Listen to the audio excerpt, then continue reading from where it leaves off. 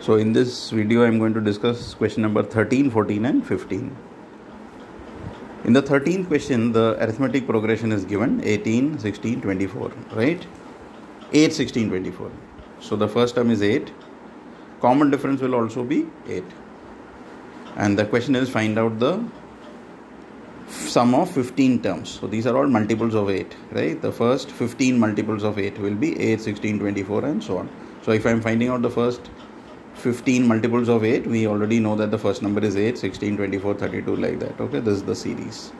So i'm using this formula n by 2 2a plus n minus 1d n value i am putting as 15 a value is 8 and d value is also 8 so i'm solving that and i'm going to get the answer here 960 okay? So that's an easy question i believe. Because everything is given to you you can directly get the answer. In question number 9 between 0 and 50 you have to find the sum of all the odd numbers. Between 0 and 50 odd numbers are what? 1 3 5 7 and your last odd number you know will be 49 so we have to find the sum of this. So we know that the first number is a.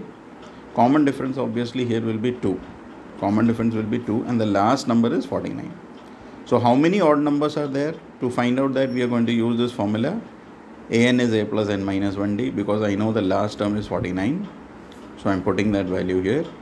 A value is 1 common difference is 3 minus 1 2 so using this formula I can easily find out the value of n n comes out to be 25 that means there are 25 odd numbers right? So if there are 25 odd numbers now the question is find out the sum of those odd numbers. So I'm using the formula n by 2 a plus l because I know the first and the last term here.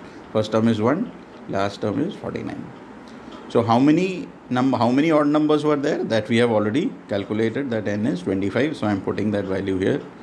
The first number odd number is 1 last odd number is 49 so i'm putting it here. I'm solving this. I'll get the value as 625 right? 625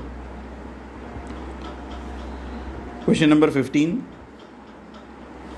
so word problem? You can read the question and easily find out that this is an arithmetic progression okay? There is a first number is 200 okay? Construction company there is a fine no? So the fine is increasing by 50 rupees every subsequent day. So 200 250 300 350 400 like that. So the question is what will be the amount after 30 days how much does he have to pay as fine after 30 days? So the first delay first day delay 200 second day delay 250 third day delay 300 it keeps on adding adding for 30 days. The question is after 30 days how much he has to pay? So i am using the formula of sum n by 2 2a plus n minus 1d we know that this is a series of 30 because there are 30 days. A value is 200 and common difference is 50 so I'm calculating this we get 400 plus 1450 1850 and therefore 27750 therefore what is the total fine? You will have to write rupees 27750 okay so that's the total fine that has to be paid